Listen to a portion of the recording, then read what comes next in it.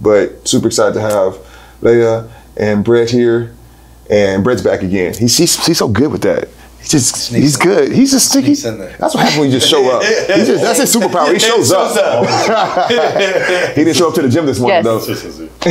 Yo, what's up? I'm Brett Ryan. Uh, I'm a digital marketing manager for a marketing agency, and I'm also a, a bartender here in one of the hottest spots in the Heights. They just opened. He's saying hottest spot already. They knew. Let We're, do we're the, one of the him do his busiest bars in the Heights right now. Let him do his thing. What is it called? Randy right there. All right, all Let him right, know all where to right, go. all right. Backyard. Okay. And then my name's Leah. Um, I was in the service industry for a little bit. Um, now I transitioned more into um, day trading and personal development. Yep.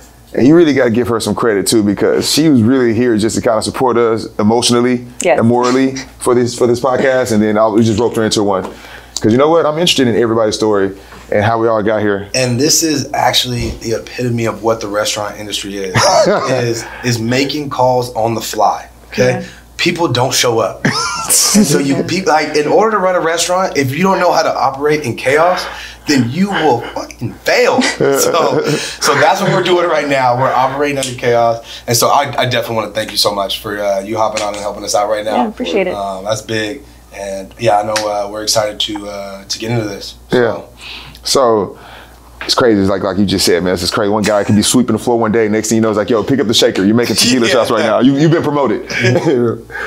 so I mean, we, we're super passionate about you know what I'm saying understanding what this transition into entrepreneurship from being an actual bartender is. And I know a lot of us we've all had that transition. I know you you've been doing a lot with personal development and trying to help people coach people through these transitions. What's, Yes. How did you get started into this? Um, so I really got started um, with my trading academy that I'm in. Um, it's called iMaster Academy. Um, they really had a big community to help you build your personal development because you start to learn like trading is really 10% skill, 90% psychology, um, and the market really reflects your mind. I'm someone that I've gone through a lot, and no one really taught me how to develop myself, kind of like raise myself mentally. Gone through everything I've gone through by myself, and then getting into a community now it's okay read these books or listen to this podcast or learn how to forgive you know just simple things that people don't talk about. Um, and then fitness as well like fitness is the main key to my personal development just like y'all i know y'all are gym rats Yeah. yeah, yeah, we Trying stand. I mean, you know, to be honest, I mean, we're gym rats because we all were fat at one point. Can we all be honest about it? How, how much did you get to, I was like 265 at one point. Dude, I got up to 260. How, what I were you? was like 245. I mean, I'm shorter than these guys. I'm not above six feet like so. So it's like yeah, that weight, that weight hits different. so I got a question. Do you think if we were all still that same weight, we would all had a chance to be bartenders? Absolutely not. Yeah. Do you I think if you were definitely fat, you probably would have had a chance in the service industry? Yeah, no. I definitely think there. I, I, de- I only think that it would have stopped me from getting in certain doors. Yeah. And I mean, I feel like it is a touchy subject, Yeah. but it's also just how the business is. Yeah. Like unfortunately, like people want a certain look, Yeah. and like I've been told no to jobs. Like I've been told I couldn't come in certain places as far as like working there, and they didn't give me a specific reason. But unfortunately, like I'm also just aware of my surroundings. Yeah. Like, Read the do I- room. well, yeah, read the room. And, and what do you want to do? Uh, do I want to sit here and complain about it and be like, oh man, they didn't hire me because of this? Or do I want to change what I can and then try to get in the room? Or do I want to be like, all right, whatever, no problem, Yeah, and, yeah. and bounce? Uh, I do want to touch on uh, a little bit of what you had said earlier, with just about you know going from work, learning about like just you being in yourself and working solo, and then getting into groups outside of it. 'Cause I ended up watching a video where this lady was talking about how in school they're really trying. It's almost like they're setting you up for I don't want to say just failure, but to be like baseline, where it's like, hey, like you take tests by yourself, you do all these things by yourself, you don't want to make mistakes, and then I feel like as soon as like I got into the industry and as soon as I started like you know working with you guys on separate projects and all kinds of other things, it was like, all right, how do we work together? Yeah. Like, how do we spend more time together? Like, what are you learning? What are you learning? And then it's like mm-hmm. you go from wanting to do everything by yourself to okay, man, now I need to collaborate with as many people as possible. So do you feel like that's what kind of like puts you into a different level? Yes. Um, so yeah, definitely one thing is like getting uncomfortable is one thing I strive to do all the time. So it's like, okay, well, let me just get out there, talk to people, and then like understanding that we're all really ignorant to a lot. You know, ignorance is lack of knowledge. So let me go see what I can learn from every single person that I'm interacting with. Um, and then just like really seeing people like making, you know, six figures in a day. And it's like, okay, if they're able to do it, I can do it. So now let me, you know, have some kind of mentor, some kind of support group to really help me flow easier through this. Because if not, I'm going to struggle. And then learning from a community, you're able to really like minimize your time you're wasting on lessons because they already did those lessons for you. Mm-hmm. Yes. Not making the same mistakes. Yes. Honestly, I think mentorships in every industry and communities are really big important. Did you have any mentors, I guess, along your process?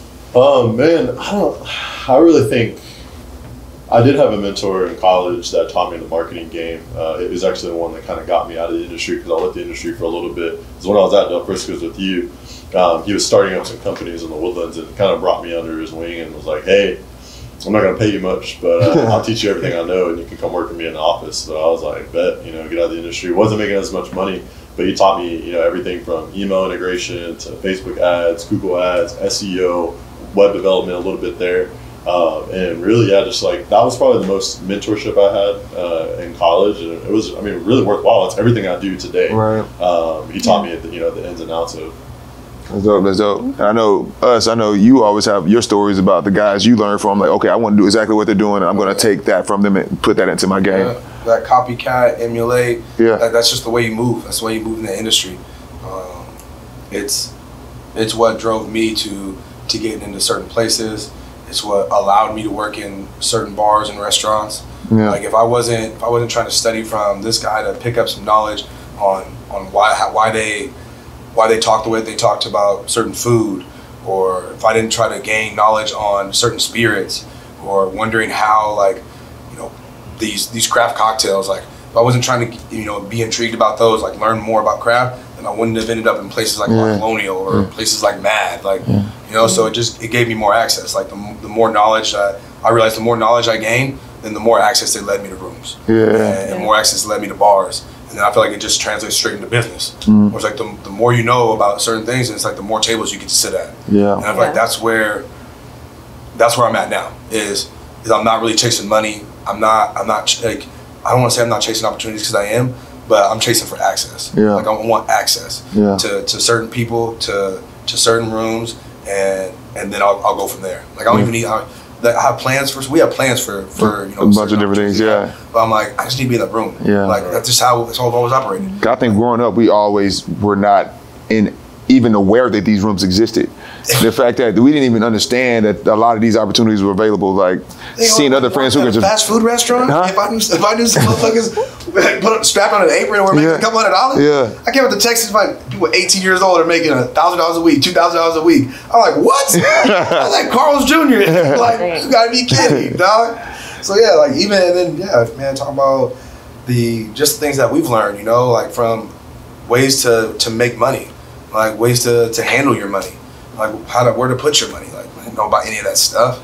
and it all, it all comes down to the personal development too. It's just like understanding like you gotta you gotta have access to the rooms, but before you can get there, you gotta develop yourself as Yes. a person. Yeah. And kind of circling back to the personal development, honestly, like I think it'd be cool for you guys to talk about like how has personal development elevated y'all's bartending experience and your industry experience because when I first got into it, y'all weren't really that big into self care and taking care of your fitness. That's honestly something you kind of got, got Go into. ahead, go together.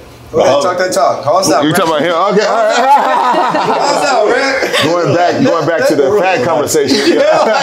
How, Hey. how have y'all noticed that? How have y'all noticed how that has elevated your experience in the industry thus far? And you went to Miami and started a workout group and met so many people through that. Like, how, talk about that. I see. it's like all of those things are really tied together that you bring it up. Like, I mean, when I went to my own personal weight loss journey, that was almost like my simulated trauma. But you know what I'm saying? Going through a year not going out, I'm eating this, I'm working out, no matter what the pain is. Like, okay, now I can go work at any job and I can work six days, seven days in a row. I don't care. Because like now I've already told myself to do stuff that I don't want to do. Right. Now when we started bartending with him, like my thing with him was like he was great with personalities, building relationships. I'm like, bro, we gotta get you in shape, big guy. like, we get you in shape, be out here killing it, dog. But, but have you noticed more? Have you noticed that it's easier to connect with people, Yeah. women, other guys? Yeah.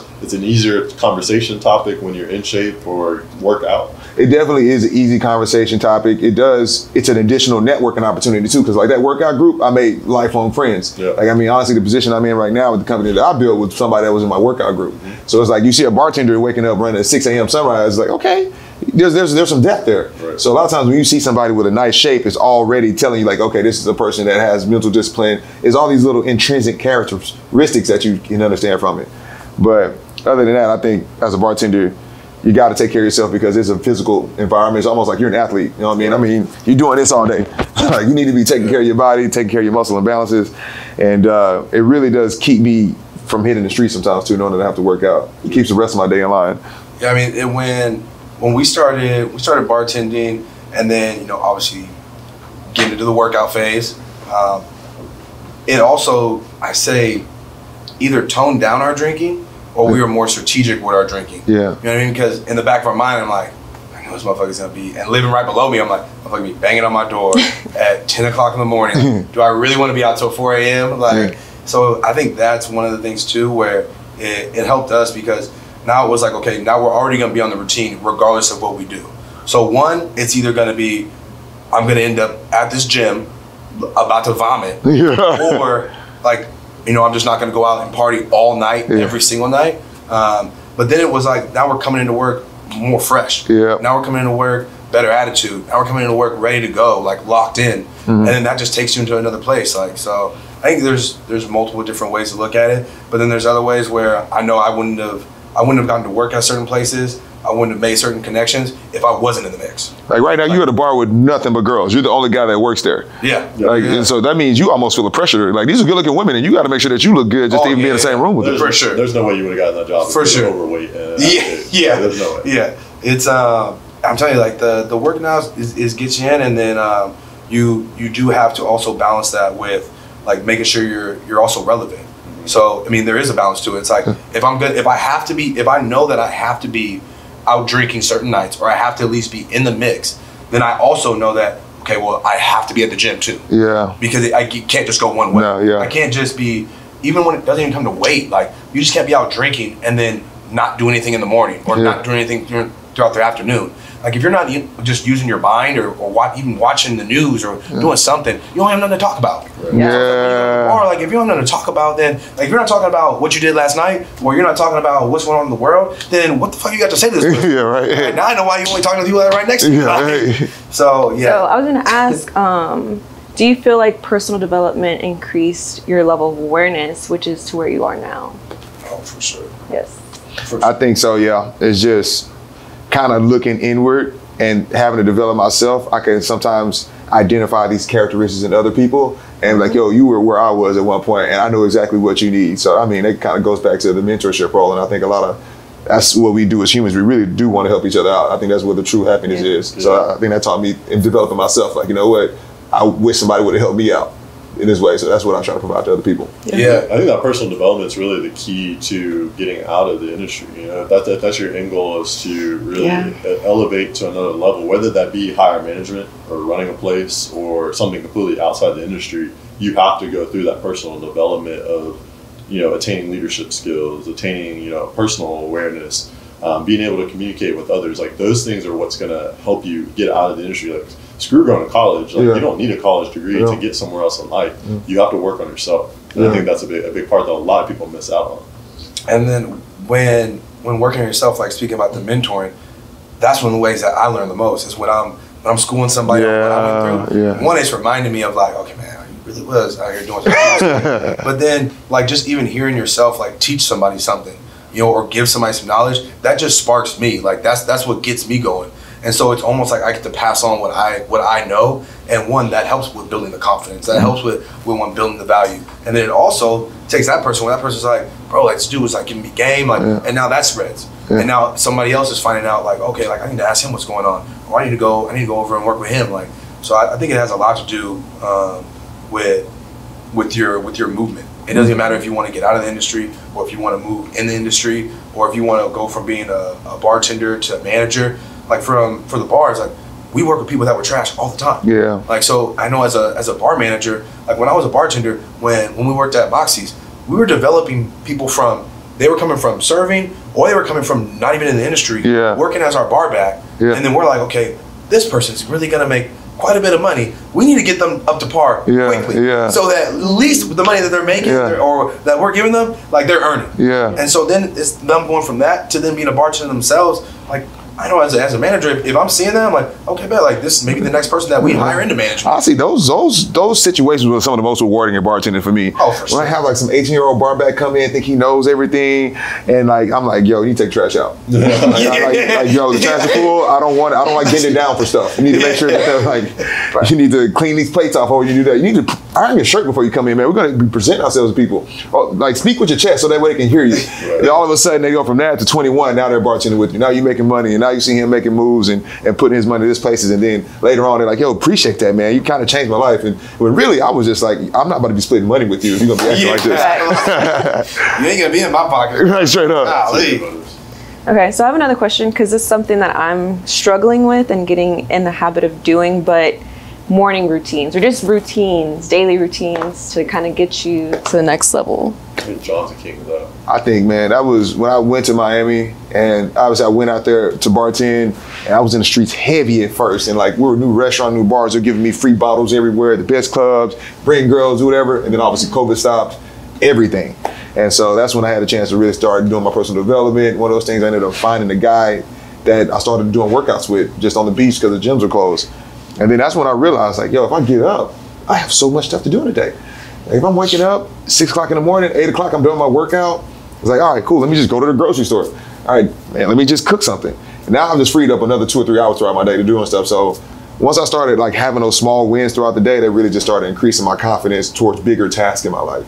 So I think that's that's a, like I say, it's almost like simulated trauma where you're just like forcing yourself to do stuff you don't want to do, and then it's like just really sharpening your personality all around. Yeah, it, it's fundamental. I know, like, even just the opportunities that I got after I stopped just like waking up just to go to work. Yeah. Because in the beginning, when I got in the industry, that's what it was. It was like work. I'd work long hours, working doubles, but I'd go to sleep and then I'd wake up maybe an hour before my shift, and then I'm coming into work. Once it once that changed to where it's like when we when we started working together, where it was like okay, bet like now I'm waking up at 10 a.m. Now I'm working out. Now I have multiple hours of my day. Like now I can actually start just doing something. Yeah. You know, making some other moves to where now like that's that's how I have to start my day. Yeah. Like I, I, I have to be up early and I want to go straight to the gym. Yeah. I don't. It's almost like my coffee. Yeah. Like I, I don't want to. I don't want to go do something else. All I want to do is wake up, go to the gym, and then I can figure the rest out. Yeah. Like I, I have to have that though, and that's what balances out just the rest of my day. You said something on the last episode. It's like even though you're not at work, you're still always working. You're still always on the clock. So everything you be doing, You're like missing opportunities too. Yeah,